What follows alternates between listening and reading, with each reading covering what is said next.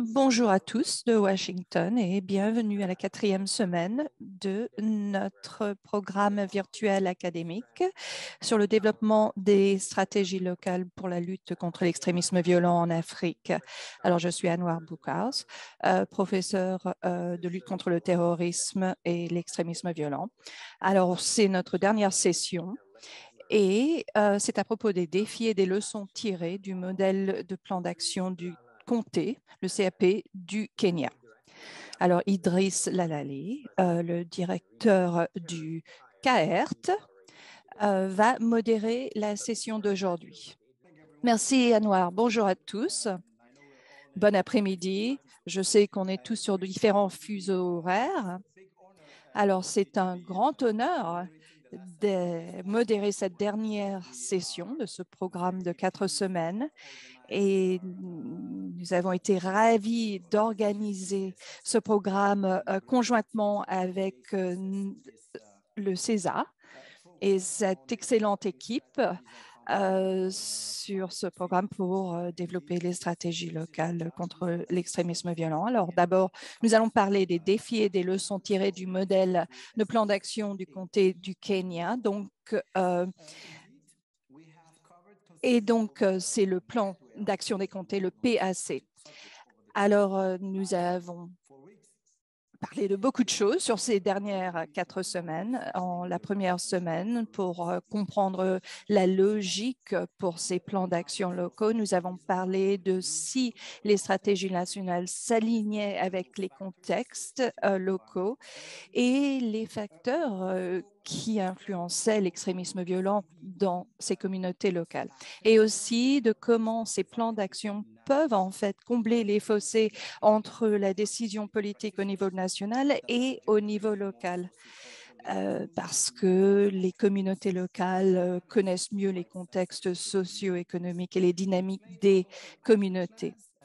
Euh, on a parlé de comment ces plans d'action locaux permettent une plus grande appropriation et une approche euh, du bas vers le haut, euh, travaillant vers une résilience des communautés. Deuxième semaine, nous avons parlé de la rédaction de ces plans d'action et nous avons parlé des principes principaux dans le développement de ces euh, plans d'action contre l'extrémisme violent. Euh, le processus de la conception et de la rédaction. Nous avons eu des intervenants brillants qui ont parlé des défis auxquels ils ont fait face euh, pour s'assurer euh, que ces plans puissent être mis en œuvre et, avoir la capacité d'être mis en œuvre. Ils ont aussi partagé des, des leçons essentiel appris pendant la mise en œuvre de ces plans d'action locaux. La semaine dernière, euh, nous avons parlé de comment les plans d'action locaux euh, définissent les responsabilités pour la mise en œuvre. On a parlé euh, des différents points de financement pour ces plans et nos intervenants ont parlé des défis que l'on trouve euh, d'une manière commune pendant le développement de ces plans d'action et comment on peut surmonter ces défis en reconnaissance l'importance de la flexibilité, la capacité d'adaptabilité de la mise en œuvre de ces plans d'action. Euh, donc, euh, une, une taille pour tous ne s'applique en fait au développement, à l'élaboration de ces plans d'action locaux. Alors, la session d'aujourd'hui, à propos des défis et leçons tirées du modèle du plan d'action du comté du Kenya, veut consolider les connaissances que nous avons apprises sur ces dernières semaines. Donc, nous avons des experts avec beaucoup d'expérience aujourd'hui. Euh, notre premier intervenant, euh, docteur euh, Awayo, qui est un, c'est un guerrier, c'est quelqu'un qui euh, travaille sur ce sujet depuis longtemps. Il est maître de conférence au département de philosophie euh, et religion à l'université Gotham. Euh, il est aussi un chercheur euh, invité à la même université sur un projet qui explore le lien entre les connaissances religieuses et la déradicalisation dans les espaces urbains majorité musulmane au Kenya. Il a un doctorat en philosophie des études islamiques et il a eu de l'université de Beyrouth qui n'est pas au Liban mais en Allemagne. Il a aussi un master euh, du Kenya. Ses intérêts de recherche comprennent la médiation et la médiatisation des connaissances religieuses euh, de la religion transnationale, euh, de la sécurité, le réformisme islamique, les tendances émergentes dans la lutte contre l'extrémisme violent dans la Corne de l'Afrique. Euh, notre deuxième intervenante est Madame Martine Zuten, euh, qui est une, chercheuse indépendante. Euh, elle est basée au Kenya et elle se focalise sur l'extrémisme, la radicalisation, la lutte contre l'extrémisme violent, la gestion des programmes et la méthodologie de la recherche. Elle est anthropologue et elle étudie pour son doctorat en criminalité euh, à l'Université College de London. Elle travaille euh, sur des projets de recherche contre la CEV dans la Corne de l'Afrique, y compris elle fait de la assurance de qualité pour le programme de réforme de la police. Elle a réalisé une revue euh, littéraire pour le gouvernement des Pays-Bas, se focalisant sur la réhabilitation. Elle mène aussi une équipe pour le désengagement euh, à Mogadiscio, en Somalie, et travaille sur l'organisation pour les nouvelles initiatives et la recherche en Irak. Avant ceci, elle a euh, établi, elle a travaillé au Kenya euh, et a fait des travaux d'assurance de qualité sur de nombreux projets, euh, sur des projets de l'Union européenne dans la Corne de l'Afrique, pour des programmes qui travaillaient sur la prévention de l'extrémisme violent. Alors, nous allons commencer. Alors, d'abord, le Kenya fait beaucoup de progrès pour établir des stratégies novatrices alors, quelle est la genèse et l'objectif de ces plans d'action des comtés et quelles sont les mesures de ces plans d'action? Comment alors, pouvez-vous nous donner des exemples euh, de comtés qui ont accompli ces objectifs et certains qui n'ont pas réussi? Alors, pourquoi est-ce que certains n'ont pas pu atteindre leurs objectifs? Merci énormément. Je suis très heureux d'être ici. Euh, pour un programme tellement important. Et donc, je suis heureux de partager l'expérience du Kenya. Bon, le Kenya fait frontière avec la Somalie et, euh, et depuis le milieu des années 2000, bon, il y a eu cette montée de ce groupe, Al-Shabaab, qui essaye de recruter et de faire des attaques transfrontalières depuis 2008-2009 jusqu'à maintenant. Et on voit aussi que les forces de défense euh, kenyanes euh, ont été impliquées et on a vu une montée euh, vraiment des activités depuis 2011, en fait, ciblant les centres commerciaux à Nairobi et même à travers le Kenya. Alors, Bon, pour parler de cette genèse, on doit parler de comment le Kenya, dès le début, a essayé de développer euh, des outils de politique pour lutter contre l'ex-terrorisme et des mesures antiterroristes. Donc, le Kenya a établi des lois qui ont été négociées, donc elle en a parlé pendant longtemps euh, à travers des comités, etc. Euh, mais nous avons maintenant une loi de lutte contre le terrorisme et ensuite 2014 une loi de sécurité. Donc le Kenya a beaucoup d'unités spécialisées qui se préoccupent de ce sujet du terrorisme, des unités de police euh, et des forces de défense. Le Kenya est vraiment un partenaire important euh, dans AMISOM en Somalie. Donc, nous sommes très impliqués en tant que pays euh, dans ces, ces, mesures de lutte contre le terrorisme.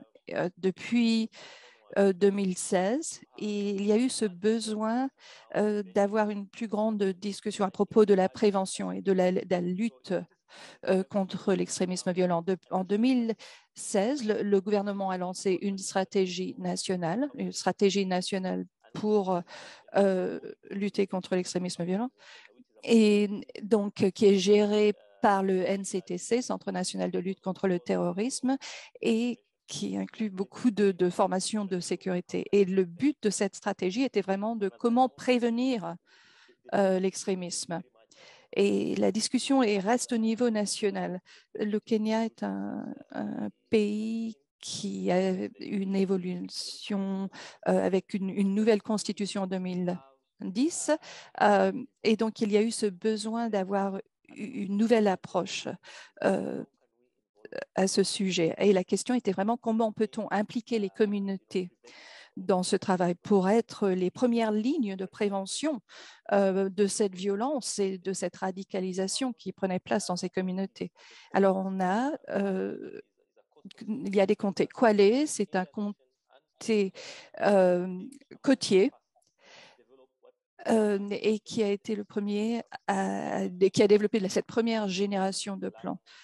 Mombasa, Lamu, qui aussi sont des comtés côtiers, ont développé aussi leur propre plan d'action et d'autres comtés ont pu aussi faire ce même travail. Quand on parle de, de, de cette lutte contre l'extrémisme violent, on doit vraiment voir la perspective, la grande perspective. Alors, dans la création de ces plans d'action des comtés, il y a eu des discussions de la part des parties prenantes, euh, y, comprenant les fonctionnaires du gouvernement, euh, les groupes du secteur de la sécurité, les femmes, les jeunes, les groupes d'intérêts spéciaux ont été impliqués, parmi d'autres. Et donc, euh, ces premiers PAC, cette première génération, ont été le sujet de grandes discussions à propos de qu'est-ce que ceci veut dire, la prévention de l'extrémisme violent. Et bien sûr, il y a eu les piliers.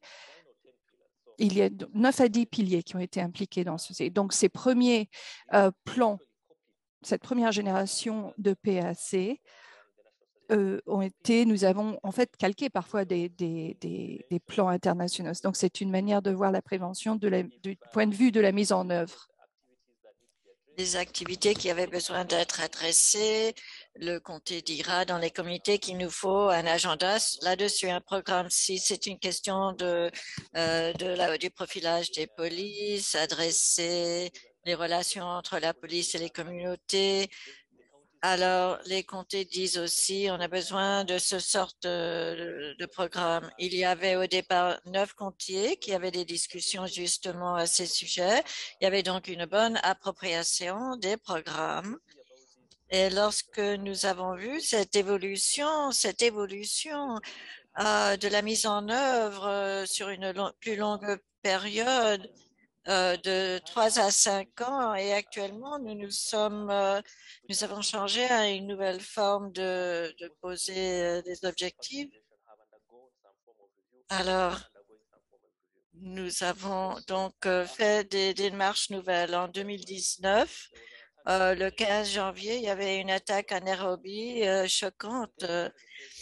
et après cela, le président a déclaré que tous les comtés, tous les PAC qui, euh, qui étaient en place devraient mettre en place leur propre stratégie personnalisée euh, pour chaque région et les réussites qui ont été vues pour les, premiers euh, PAC sont claires.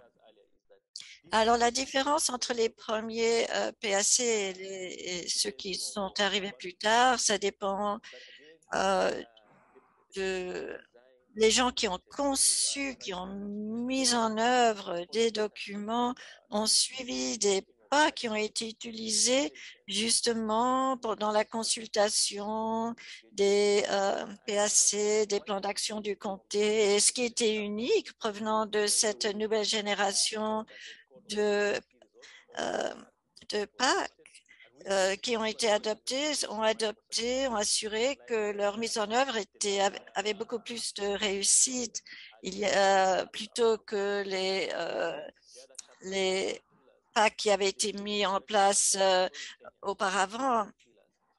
il y avait très peu de piliers dans les premiers packs et c'était pas vraiment, on se penchait pas sur ce qu'avait présenté la communauté.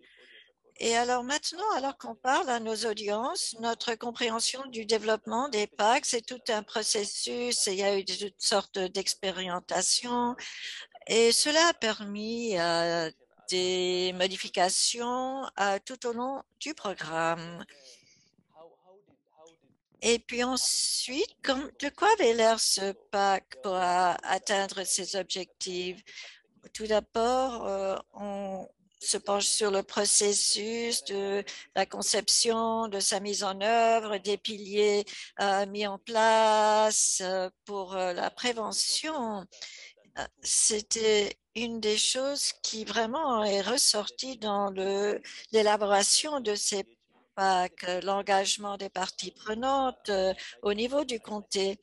Mes collègues et moi, on, a discuté de la structure des PAC, des plans d'action du comté et pour savoir comment faire pour avoir le plus de nombre possible qui s'engagent dans ce PAC et qui la mettent en œuvre. Il y avait au départ beaucoup d'enthousiasme de la part du gouvernement et aussi des partenaires euh, de développement, que ce soit euh, des États-Unis ou des pays de l'Europe, beaucoup d'enthousiasme de la part de nombreux partenaires internationaux pour euh, soutenir les agences du gouvernement qui ont mis en place ce document de politique et euh, nous avons donc vu que la consultation était vraiment un pilier central dans l'évolution de ces PAC. Il y avait des secrétariats, des comités, d'autres structures mises en place et dans la plupart des comtés que j'ai mentionnés, euh, la première génération des PAC et, puis dans beaucoup de comtés, la deuxième série de, des PAC, il y avait la société civile qui a pris une place primordiale. Si on se penche sur Coalex, c'était le premier comté à mettre en place les nouveaux PAC, euh, leur plan d'action de comté. Et la chose qui, était au cœur de ce programme de prévention, hein, euh, les forces motrices de, ce plan de mise en œuvre, euh, on a vu ça à Mobassa, d'autres organisations, et à Siolo, Nakuru, nous avons vu que le rôle de la société civile, vraiment, c'était le pilier qui a de, de tous ces groupes, l'expérience avec euh, les, problématiques sécuritaires. Et donc, c'est la société civile est devenue vraiment l'encre centrale des PAC.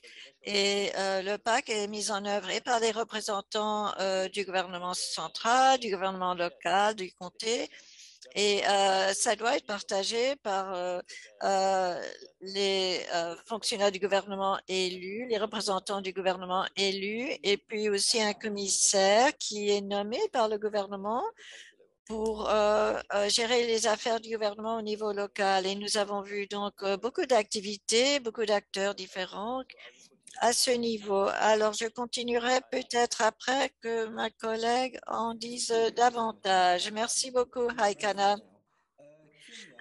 Alors, Martine, Kenya, euh, on dit que c'est vraiment euh, euh, le, succès dans la prévention et dans la mise en œuvre de, de ces programmes d'EPAC. Mais basé sur votre expérience, quelles sont les réussites du modèle?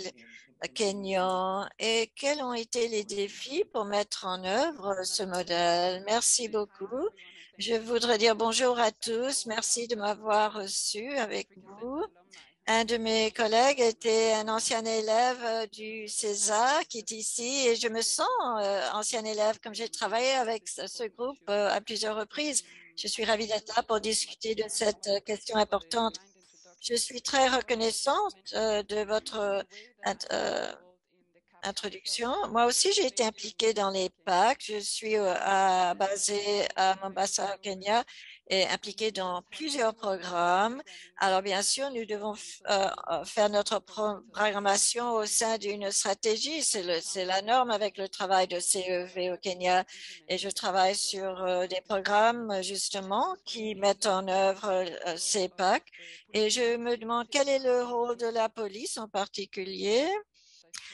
Je pense aussi que une personne qui est basée dans cet espace je travaille avec le CEV au Kenya depuis dix ans. Comme Aikano a mentionné, tout cela a commencé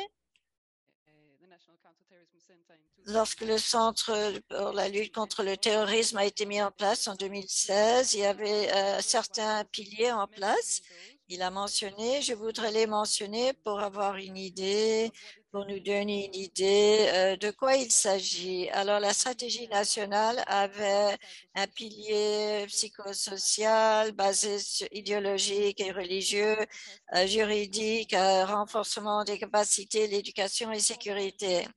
Et vous pouvez voir donc, euh, et encore plusieurs autres, beaucoup de professionnels donc ont besoin de se réunir pour adresser ces problématiques et ces piliers doivent se renforcer, se soutenir l'un l'autre pour la, soutenir la communauté dans la lutte contre le, recrut, le risque de recrutement et, et euh, l'extrémisme violent. Souvent, euh, cela, les piliers étaient miroités dans les euh, plans d'action de, de comté et les gens ont réalisé que cela, euh, il y avait une grande discussion sur la question de genre parce que beaucoup d'attaques ont été réalisées par les femmes. Alors, on a vu, ah, il y a des problèmes de genre, il faut comprendre que se passe-t-il dans cet espace-là?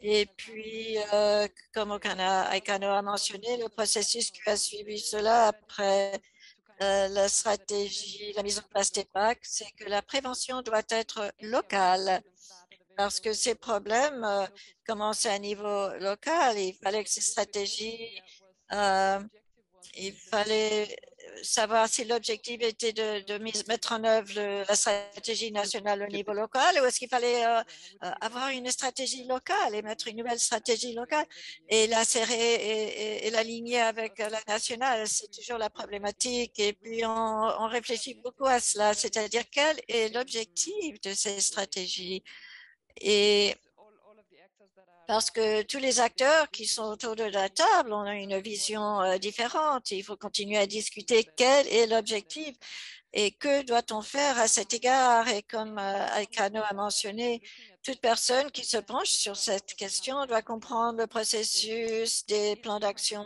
de comté dans le contexte euh, du niveau administratif au Kenya.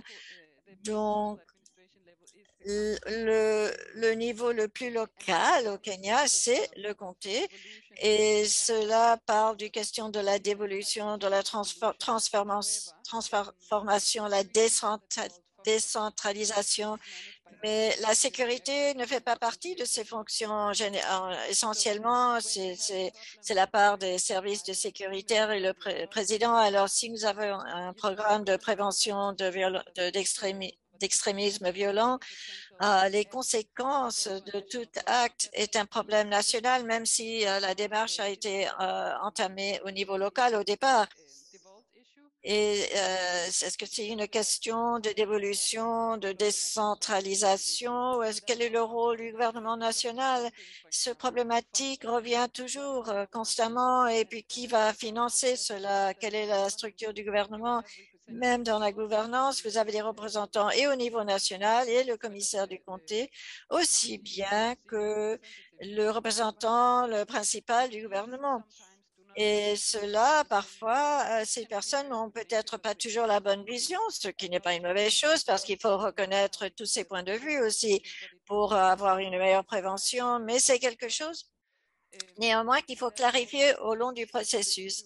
Et puis, il y a aussi la question à savoir est-ce que dans les comtés euh, locaux, il y a des, problèmes différents qui sont les plus euh, pressants, à savoir si le terrorisme dans tous les comtés, euh, c'est une chose importante sur laquelle se pencher et comment faire, comment confronter ces, ces problèmes parce que ça change de comté en comté et dans le processus de mettre en place les plans d'action de comté, comme O'Connor a dit, si on se penche sur Mombasa, la deuxième ville euh, en taille, le processus de mettre en, action un plan d'action compté, il y a une très forte euh, société civile euh, qui se penche dans la lutte contre l'extrême violente.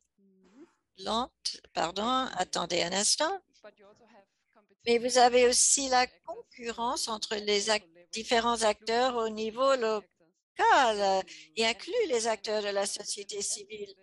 Et au sein de ce débat de l'élaboration du premier plan d'action du comté est élaboré avant la stratégie nationale. Donc, il y avait un processus réitéré euh, une fois que que le plan national a été lancé, quels ont été euh, les résultats, les conséquences sur le plan local, ce que nous avons vu à Majia sur la frontière avec la Somalie, euh, les menaces sont différentes, plus prééminentes, ou bien dans la partie de l'Est avec euh, avec la frontière avec l'Ouganda, évidemment, la menace est tout à fait autre.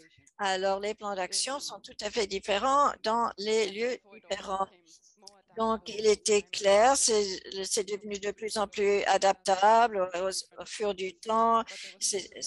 on peut se pencher sur d'autres piliers, changer son approche, mais il faut quand même avoir une comparaison entre les comtés. Il faut avoir assez de similarités pour pouvoir comparer entre deux comtés à comté, mais suffisamment spécifique au, à la dynamique locale pour que cela vraiment euh, a une appropriation locale. Et ici, je pense que c'est juste de dire qu'à cause, vu que le, terrorisme, les comtés ont beaucoup d'autres euh, problèmes dans l'espace sécuritaire qui parfois sont plus importants que le terrorisme. Alors, dans certains côtés, dans le processus du l'élaboration de ces packs, il fallait discuter qu'est-ce que ça veut dire, c'est qu'est-ce que c'est que la prévention du terrorisme, c'est quoi le terrorisme. C'était donc un énorme effort pour améliorer la prise de connaissance et de conscience tout autour. Donc, euh, le processus d'engagement des parties prenantes est vraiment un, travail de renforcement des capacités. Euh, sur certains sites, bien sûr, il y avait plus de travail dont on avait besoin parce que c'était tellement nouveau. Donc, euh, voilà, je vais vous rendre la parole, Idriss. Merci, Martine. Alcano, est-ce que vous pouvez nous parler de la conception et de la mise en œuvre euh, de ces plans au niveau national et local? Quels ont été les défis euh, qui vous ont fait face et comment est-ce qu'on les a surmontés? Bien sûr, si vous avez des exemples spécifiques, ce serait très bien. Désolé, votre micro est éteint. J'ai participé euh, dans l'élaboration d'un plan d'action d'un comté au nord du Kenya et c'était vraiment euh, un engagement consultatif avec les parties prenantes euh, en tant que processus. Alors, et il faut que nous comprenions très clairement que la question du terrorisme a toujours été examinée du point de vue de la sécurité. Et donc, en fait, la dévolution de ces, ces, euh, a, pris une nouvelle approche. Beaucoup des parties prenantes euh, incluent dans la conception de ces packs ont, vraiment été surpris quand on leur a dit vous avez un rôle à jouer. Et comme Martine euh, l'a dit, c'est vraiment un, effort de renforcement de capacité pour que euh, les gens puissent comprendre, l'extrémisme violent dans leur propre euh, région, dans leur propre comté. et parce que tout ceci se passe dans une zone un peu grise. Et donc, il fallait dès le début euh, vraiment les sensibiliser à propos de ce que voulait dire un plan d'action local et plan d'action communautaire ou de comté. Et donc, euh, les points de référence, on a, euh, les consultants ont examiné donc l'extrémisme violent, on a analysé les points forts, les points faibles, et pour aider l'organisation qui finançait ceci à travers le Centre national de lutte contre le terrorisme et pour identifier des personnes clés qui allaient représenter les parties prenantes pour se rassembler et mettre en œuvre ce plan d'action. Et ces consultations se sont déroulées sur des semaines, plusieurs semaines, enfin pour des des packs rapides, ça aurait pu être pour quelques jours, quelques semaines. Et ce processus a été inclusif, participatif et comprenant des individus qui ont rédigé un, projet de plan. Et une fois qu'il a été validé, ce qui est fait par des, agences qui, donnent les financements. Et ensuite, ces plans ont été lancés. Bon, le document lui-même de ce plan. Alors, là, c'est le moment de la mise en œuvre, ce qui est toujours le, plus grand défi au Kenya. Comment mettre en œuvre ces packs Alors, l'une des stratégies a été d'établir un corps d'individus qui agissent en tant que secrétariat. Et donc le plan doit être pris en charge par le commissionnaire du gouvernement et aussi le gouverneur. Donc, il délègue les responsabilités aux personnes qui vont former le secrétariat. Et le secrétariat est composé de fonctionnaires du gouvernement national, des, aussi d'individus représentant le comté, les femmes, les leaders religieux, les leaders des communautés, société civile, par exemple les, certains représentant les entreprises dans, dans le comté. Et donc, ce cadre s'appelle un, forum d'engagement du comté, le CEF, et qui s'occupe de la mise en œuvre du PAC. Bon, il y a bien sûr toujours eu ce problème de, l'appropriation parce que à, qui appartient le plan d'action du comté? Est-ce qu'il appartient à la localité, au gouvernement, à la région, à la province et, ou est-ce qu'il appartient à tout le monde? Parce que quand on donne quelque chose à deux personnes en même temps, il y a toujours ce problème de qui est vraiment responsable. Mais ce qui a été fascinant au fil du temps, parce que le processus de mise en œuvre des PAC se, concentre sur chaque ville dans ces comtés, euh, que ce soit la ville de Lamu, de Garissa, de Mombasa euh, ou d'autres villes. Il y a ce besoin de s'assurer qu'au niveau des sous-comtés, euh, il y a un engagement.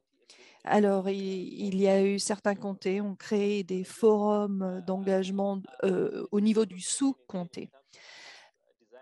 Et donc, dans la conception et la mise en œuvre des PAC, il y a d'autres agences, y compris des agences de sécurité, qui ont réfléchi à, leur propre plan d'action pour s'adresser à, l'extrémisme violent, parce que quand ils euh, examinent le, PAC lui-même, le, plan au niveau des comtés, ils ne voient pas forcément comment ils peuvent y participer. Mais certains, euh, la plupart des piliers pour les comtés qui ont des PAC. Euh, ils ont des chefs de piliers, deux ou trois individus qui gèrent en fait la mise en œuvre d'actions liées aux, piliers pour lesquels ils sont responsables. Disons par exemple, si c'est le pilier des forces de l'ordre, le commandant du comté, de, la police du comté, va faire partie, va, être chef de pilier pour s'assurer que les activités liées à ce pilier sont mises en œuvre.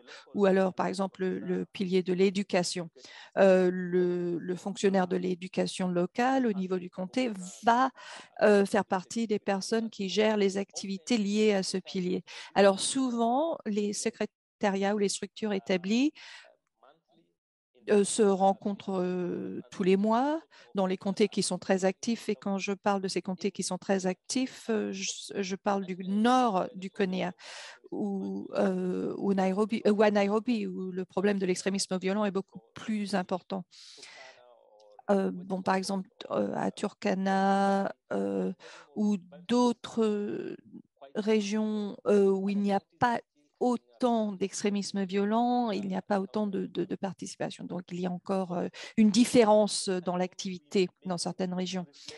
Alors, il faut, je pense, il faut réfléchir à ce qui va être les résultats dans deux ans, trois ans. Donc, les comtés à travers le Kenya ont fait beaucoup de progrès pour s'assurer que la mise en œuvre des PAC a été réussie, mais dans certaines régions, il y a eu des, là où il n'y a pas énormément de radicalisation, il n'y a pas eu autant de succès. et donc, il y a en fait aussi une optique qui dépend de la présence active des organisations de la société civile qui sont déjà impliquées dans des efforts de, de, de, créer, de paix, de pacification. Et donc, il, faut vraiment qu'il y ait un leader de ces discussions autour des, des, PAC. En 2020 et 2021, il y a eu une certaine perturbance de cette mise en œuvre des PAC à cause de la COVID-19 et notre gouvernement a établi des mesures très strictes de, de, santé, ce qui voulait dire qu'il n'y avait pas la possibilité de mobilité, de voyage, euh, de, en fait, de rencontres de parties prenantes pour la mise en œuvre des PAC. Et donc, euh, l'une des coalitions que, euh, il y a aussi la question de l'évaluation. C'est une question importante parce que comment savons-nous que nous avons fait des progrès à lutter contre l'extrémisme violent? Donc, il y a donc chacun des, des, PAC a un cadre euh, de suivi et d'évaluation euh, bien établi, disant voici les, les, objectifs, voilà comment nous allons accomplir ces objectifs. Mais euh, malheureusement, le, processus, la, mesure, l'évaluation, il y a quand même eu des problèmes pour, pour établir euh, ce qu'ils essayaient de, faire. Alors, il faut ce processus de suivi et d'évaluation établi à travers le pays. Et donc, il y a euh, un, processus national. Par exemple, s'il y a un comté qui met en œuvre un, PAC et le euh, corps, l'entité nationale peut examiner les efforts du comté pour établir ce dont ils ont besoin. Mais le processus, enfin, nous sommes encore enfin en train d'évaluer certains de ces efforts. Alors, nous verrons peut-être, nous allons peut-être établir une meilleure façon d'évaluer tout ceci à l'avenir, mais nous avons déjà des efforts en place pour ceci. Alors, il est important que, les comtés fassent beaucoup d'efforts au niveau de leur gouvernement. Nous avons vu que certains des comtés ont des, des départements qui se spécialisent euh, sur euh, la CEV. Par exemple, Mombasa, ils ont un directorat euh, de la CEV et donc qui s'occupe d'activités quotidiennes. par exemple, pour s'adresser à la question de, des jeunes, de l'abus des stupéfiants, pour la construction. C'est des activités, toutes ces activités, en fait, s'intègrent dans cette perspective de la prévention parce qu'elles s'adressent aux moteurs, aux vecteurs euh, de l'extrémisme violent. Et donc, ils arrivent en fait à intégrer certaines de ces activités au sein de la programmation contre la CEV. alors, donc, l'intégration de cette lutte contre l'extrémisme violent au, sein des plans de développement des comtés. Ils ont établi de, des efforts législatifs pour qu'il y ait certains des budgets établis pour ces PAC et donc, à Nairobi récemment, on parlait de comment promulguer une loi pour donner en fait de, une certaine dynamique à ces efforts de Pâques. Et bien sûr, il y a aussi l'implication des, communautés religieuses, etc. Mais le débat, c'est vraiment à propos de comment on peut établir ces documents d'une meilleure manière pour qu'il y ait vraiment un, effet durable. La première génération des, PAC, on, sait ce modèle de, des objectifs clés. Et donc, on voit par exemple certaines villes, Isiolo, qui établissent sa première année de plan stratégique. Ils utilisent plus ce document. Ils arrivent à un an et pour mettre ce plan de mise en œuvre et pour établir une mise en œuvre durable. On voit au Kenya qu'une pratique assez commune où les partenaires de développement rassemblent des comtés pour qu'ils puissent en fait partager leurs expériences et les leçons apprises, par exemple, euh, euh, Mombasa parlant à d'autres comtés. Alors, qu'avez-vous fait? Quels sont vos défis? Comment est-ce que vous trouvez des solutions à ces défis? Et donc, ce partage d'expériences euh, des, personnes impliquées dans la mise en œuvre des PAC pour qu'ils apprennent les uns des autres et puissent peut-être établir de nouvelles approches. le gouvernement national aussi a essayé de s'impliquer euh, d'une manière plus importante. Quand il y a des forums de gouverneurs, euh, ils, parlent souvent de cette mise en œuvre des, PAC et aussi euh, pour parler des problématiques de CEV. Et donc, et aussi ces, problèmes de CEV au niveau des comptes. Et quand on parle de la mise en œuvre de ces plans d'action, il faut qu'on prenne une perspective assez large parce que y a, ces plans peuvent être très variés, quoi, divers parce qu'il paraît, par exemple, fournir une, opportunité économique pour les jeunes ou alors euh, une formation pour comment euh, éviter les matériaux radicaux en, ligne, euh, le désengagement de la radicalisation, enfin de différents efforts. Alors, c'est vraiment un grand nombre d'activités très diversifiées qui s'impliquent dans tout ceci. Et donc, ceci nous donne un, aperçu du progrès que nous avons fait. Merci. Merci beaucoup, merci beaucoup. Très intéressant. J'ai pris des notes et à la fin de la séance, je vais essayer de souligner euh, les mots principaux, les mots principaux que vous et Martine avez utilisés Martine, comment est-ce que vous gérez avec les problèmes du manque de confiance, manque de capacité, d'expertise, de... et aussi euh, euh, le fait que le gouvernement euh, est au ralenti pour partager les contributions, empêcher un petit peu les, les contributions des participants locaux? Oui. Je pense que il faut identifier ce que nous avons en commun, d'être conscient des intérêts de toutes les personnes qui se réunissent. à ce processus d'engagement, si d'autres personnes euh, euh, préparent des plans d'action de comté, il faut savoir quel est le rôle et l'objectif aussi des donateurs internationaux. Pourquoi ils s'intéressent à certains programmes, y inclus et surtout avec les acteurs de la société civile. Quels sont leurs objectifs? Qu'est-ce que eux essayent de réaliser? Les facilitateurs, quels sont leurs programmes, leur agenda, leur intérêt? Le gouvernement euh, local, quels sont les intérêts de toutes ces personnes?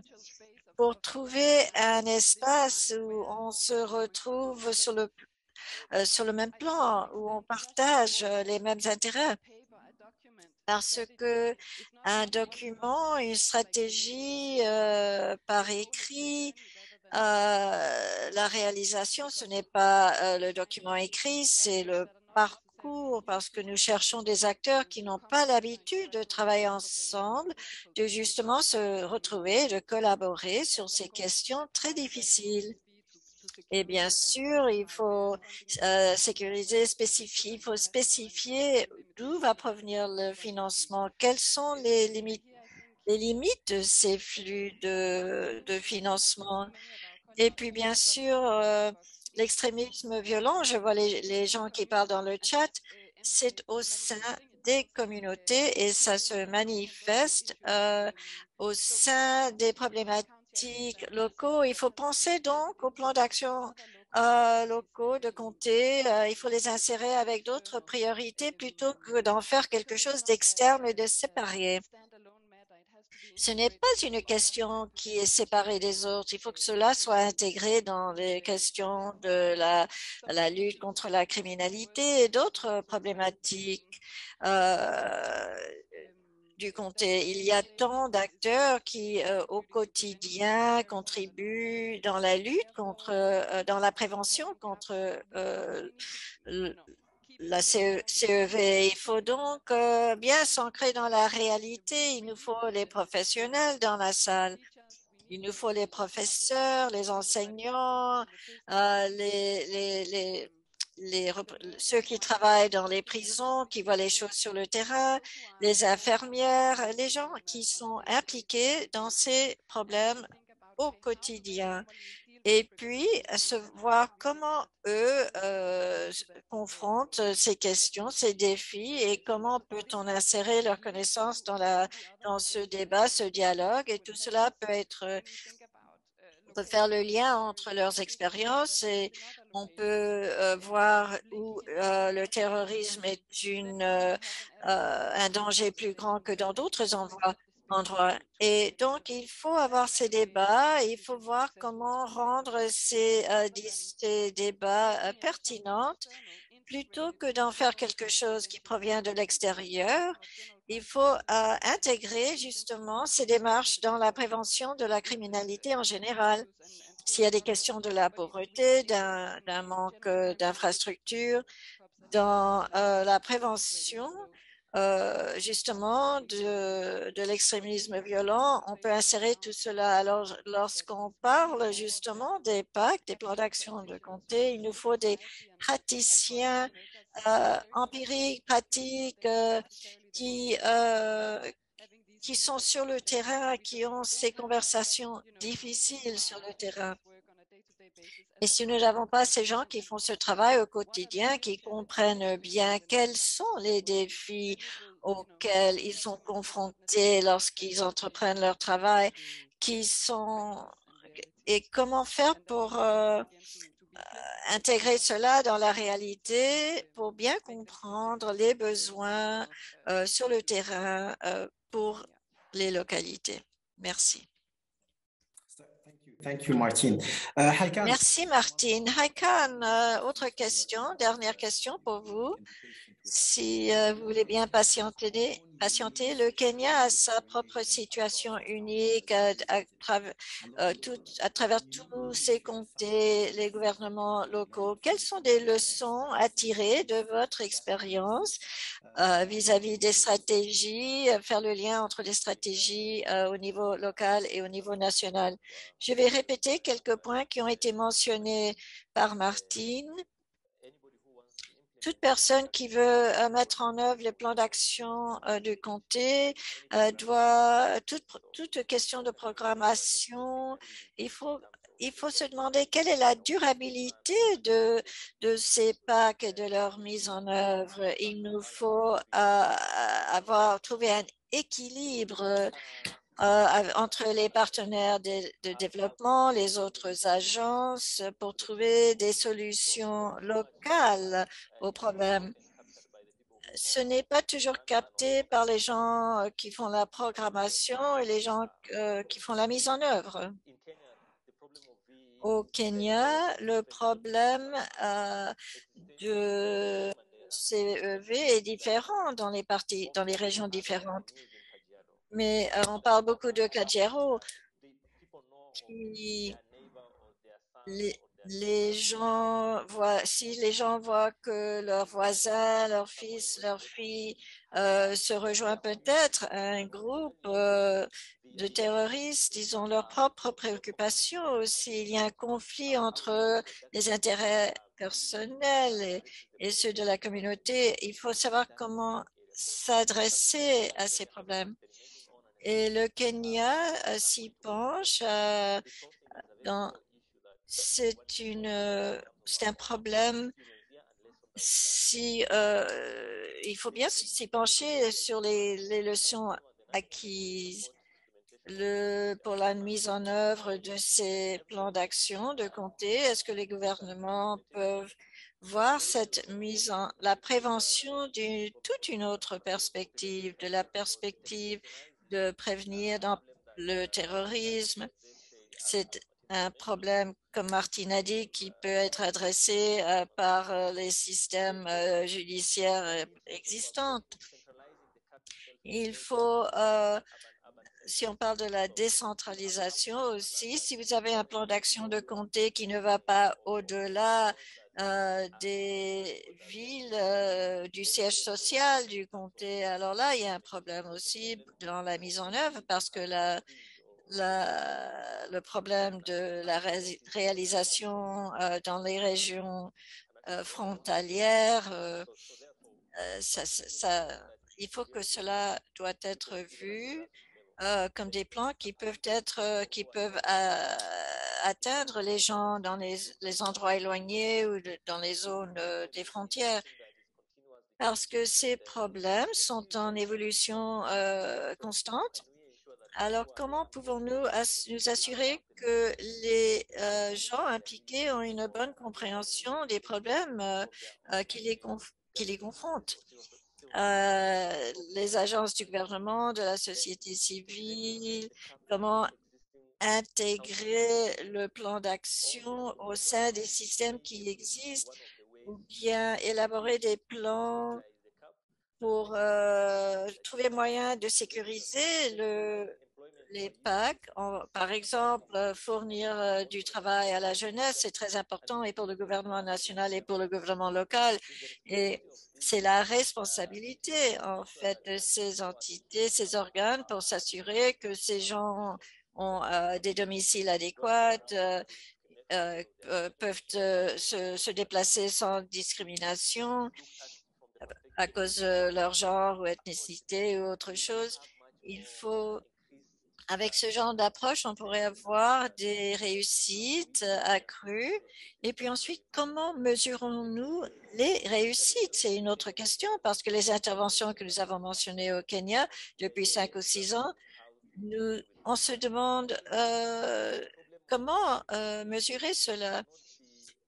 La mise en œuvre des pactes ne peut pas être divorcée des autres formes de griefs qui peuvent encore euh, tirer ou pousser euh, euh, l'extrémisme violent.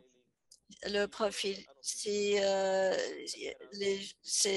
y a des perceptions de, oui, s'il y a des attaques des groupes violents dans la partie du nord du Kenya ou d'autres régions, la mise en œuvre, le, les réussites de tout cela peuvent être euh, amoindris par d'autres facteurs, euh, d'autres problèmes qui existent.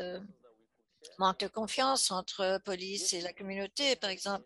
Oui, en effet, le Kenya a vu beaucoup de progrès dans la euh, dévolution des parties prenantes, la décentralisation des parties prenantes.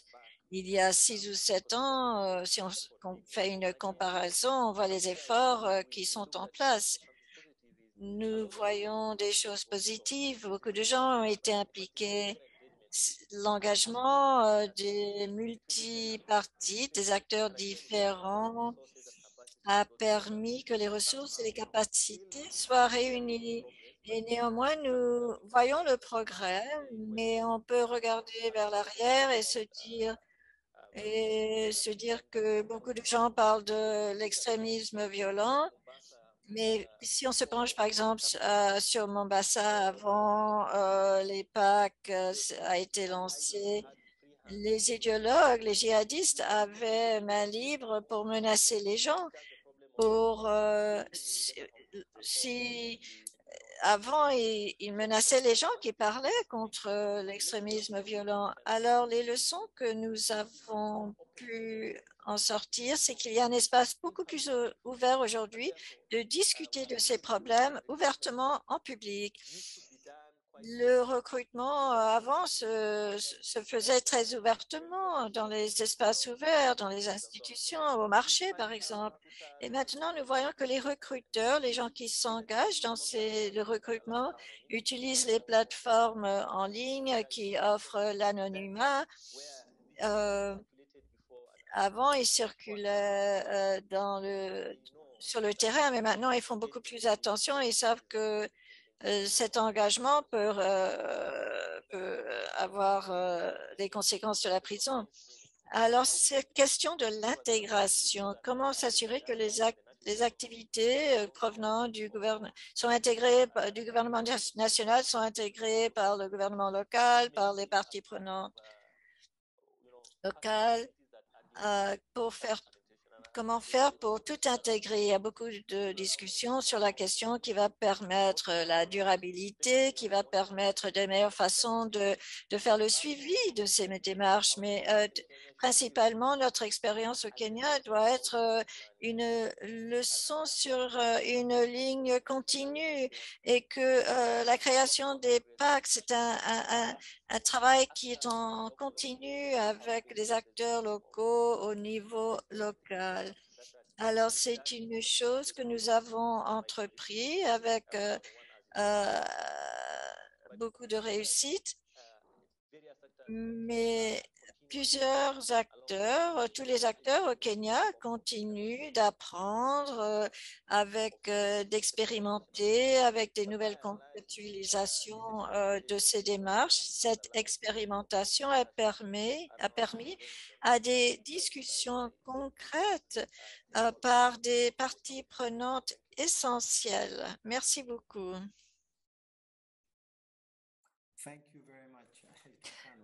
Merci beaucoup. Alors, une dernière question. Quelles sont les leçons apprises euh, à partir du Kenya qui peuvent aider d'autres pays dans leur élaboration de ces plans d'action euh, locaux? Alors, Alcano, vous l'avez dit tellement bien dit que plus que tout, ça a été vraiment un apprentissage en continu. Le Kenya était très stratégique, pris une approche stratégique euh, et d'apprentissage. Et je pense que tous les pays vont faire face à des obstacles, mais notre expérience euh, a démontré comment certains de ceux-ci peuvent être surmontés. Mais il faut aussi euh, continuer à, garder le cap vers les objectifs. Qu'est-ce que nous essayons d'accomplir? Et ça nous aide à comprendre de quoi a l'air le succès on, sait que le, succès ultime, c'est vraiment de, répondre à cette menace de l'extrémisme violent et le risque de la, radicalisation et de le faire d'une meilleure manière. Mais quand on, voit ce qu'on fait, euh, ces PAC, s'il y a une collaboration accrue, s'il y a de nouvelles nouveaux acteurs qui, qui, s'impliquent ensemble dans ces efforts, euh, des enseignants qui parlent à des leaders religieux pour essayer de trouver euh, des points communs euh, ou d'autres, enfin infirmiers, infirmières, docteurs, etc., qui s'impliquent dans ceci. Ce qu'on a compris, c'est que pour avoir une prévention euh, exhaustive au niveau local, il faut réunir tous ces acteurs. Et ça, c'est dans euh, un environnement d'infrastructure où il y a des ressources limitées. Euh, et donc, beaucoup de demandes du temps de ces acteurs. Et c'est vraiment pour essayer de focaliser leur attention envers ce, ce, problème.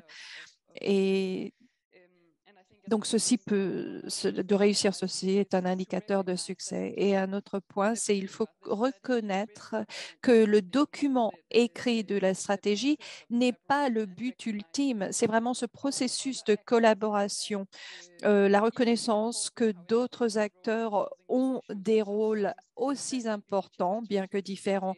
Et parfois, ceci peut être le problème entre euh, les agences de sécurité, les structures gouvernementales ou les acteurs de la société civile, etc. Il faut rassembler tous ces acteurs pour pouvoir euh, établir une meilleure prévention. Et ceci nous ramène à cette question d'appropriation.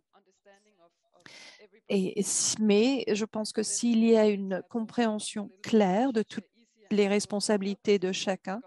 Euh, cela peut nous aider à articuler la, gouvernance dont on a besoin. Bon, peut-être qu'un secrétariat est la réponse, mais pour moi, je pense que c'est vraiment les gens qui font le travail pratique au jour le jour qui doivent faire partie de ce processus de gouvernance. Euh, bon, certains vont faciliter les réunions, mais quand même s'assurer que ces individus sont là et font partie des structures euh, de gouvernance de ce processus. Et une autre leçon, c'est euh, d'établir ce dialogue, cette conversation. Est-ce que cette euh, prévention euh, du terrorisme, est-ce que ceci est pertinent aux, vies de, chacun? Parce que des fois, on peut trop souligner. Les, vies sont compliquées, ce n'est pas forcément pertinent de la même manière pour tous.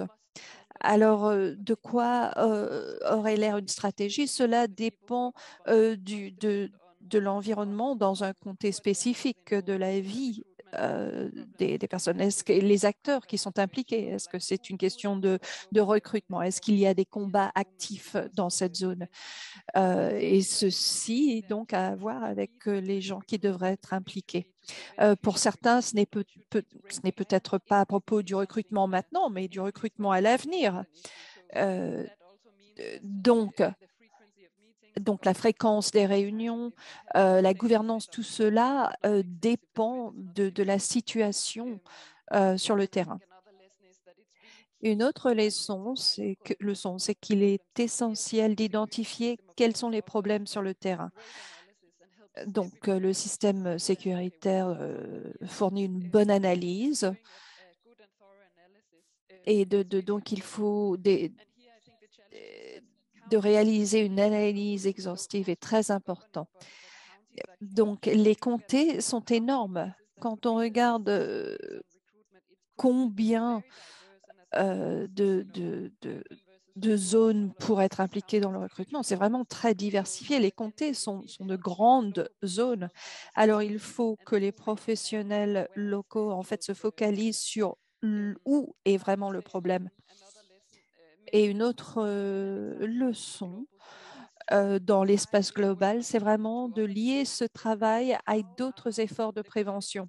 Comment est-ce que les communautés traitent de la radicalisation dans les prisons, les, conflits entre les ethnies, les, les, conflits qui sont liés à tout ceci et, et dont les acteurs de l'extrémisme violent pourraient tirer parti? Euh, quand ils prennent euh, place au sein de communautés. Parce que euh, très souvent, l'extrémisme violent prend la forme d'activités de, criminelles. Et donc, en intégrant ceci dans les autres efforts de prévention de criminalité, on peut avoir un travail durable et spécifique. Et ceci se relie à qui doit être impliqué, bien sûr. Euh, je sais que nous avons beaucoup de collègues ici qui ont des antécédents militaires. Euh, au Kenya, c'est important là où les forces armées sont déployées, c'est le long des frontières, disons. Et, c'est là que ces forces de sécurité jouent un rôle clé dans la gestion de ces problématiques et c'est là qu'elles ont un rôle important à jouer. Euh, mais dans d'autres parties du pays, ils auront un rôle beaucoup plus moindre. Euh, et ce sera dans ces zones, ce serait peut-être les acteurs civils qui auraient un rôle plus important. Donc, d'avoir les bonnes professions réunies pour ces conversations, c'est important. Et comme Alcano l'a dit, les, les, donc ces, ces plans d'action des comtés euh, et ces cadres euh, décentralisés sont importants, mais il y a aussi les autres agences qui développent leur propre stratégie, la police, les prisons, ils ont leur propre stratégie. Alors, euh, n'essayez pas d'en faire trop et d'avoir des attentes trop élevées. Il, faut s'attendre au fait que nous avons, euh, que le but, c'est vraiment d'impliquer les communautés et il faut reconnaître qu'on ne peut pas tout résoudre. Merci.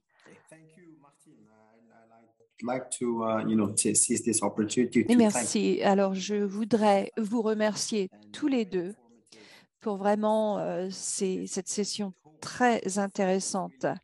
Et vous avez souligné euh, des points très importants et nous, vous nous avez donné une approche plus pratique que moins théorique euh, que ce que nous avons euh, abordé ces dernières semaines. Nous avons par, vous avez parlé des, des, leçons apprises du point de vue du Kenya. Et alors, il y a des mots-clés euh, qui sont ressortis de cette discussion. Alors, euh, vraiment très intéressant. Je ne vais pas tout synthétiser, je vais me focaliser sur certains mots-clés. L'appropriation, le développement des partenaires d'évolution, euh, le besoin d'adapter euh, les plans, les objectifs clés, secrétariat,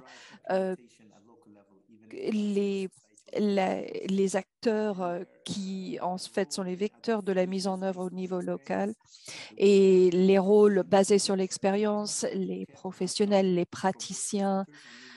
Euh, vous avez tous les deux parlé de ceci. Euh, une cascade vers le des actions, donc euh, à partir du gouvernement, et aussi dans l'autre direction, l'information, les besoins, l'expression de ces besoins, l'identification des défis euh, provenant du niveau local vers le gouvernement, le renforcement des capacités, la prévention. La prévention, ça commence au niveau local, et je suis d'accord, ça devrait vraiment commencer au niveau local. La mise en œuvre euh, au niveau local, le développement alors, est-ce qu'on examine ce, niveau local justement euh, du point de vue de la mise en œuvre? Il faut vraiment réfléchir à ceci. Quand on développe les plans, le financement, la durabilité, euh, l'allocation budgétaire, les structures de gouvernance sont très importantes, le processus et les capacités des acteurs la sensibilisation, l'engagement des parties prenantes, le renforcement des capacités de ces acteurs qui ont un rôle à jouer de la conception à la mise en œuvre et bien sûr euh, le suivi et l'évaluation, le processus d'évaluation. Comment est-ce qu'on mesure le succès, l'identification d'indicateurs clés et j'aime cette idée d'établir les objectifs. Qu'est-ce qu'on essaye d'accomplir en fin de compte? Et, ça, c'est le point de référence. Si on en arrive là, cela veut dire qu'on a au moins identifié un, indicateur clé contre lequel on peut mesurer si on a réussi ou pas. L'échange de, leçons. J'aime en fait cette idée d'un forum des communautés, des comtés, qui peuvent échanger les bonnes pratiques, euh, les leçons apprises. Et euh, vous l'avez tous les deux dit, les, comtés sont à différents niveaux de menaces et à différents niveaux de capacité. Des rôles clairs, des objectifs clairs euh, pour les parties prenantes, y compris les bailleurs de fonds et les partenaires étrangers. Quels sont leurs intérêts en fin de compte? La cartographie euh, des intérêts des parties prenantes, euh, ce, cette coopération euh, entre les acteurs. Comment est-ce qu'on se rassemble du niveau local des comtés et au niveau national pour travailler ensemble? Pour établir cette responsabilité de la sécurité, cette responsabilité collective et l'investissement dans d'autres programmes de prévention de criminalité et d'autres problématiques pour s'assurer qu'il y ait cette durabilité et, que ceci aussi se, fonde sur d'autres budgets, d'autres capacités.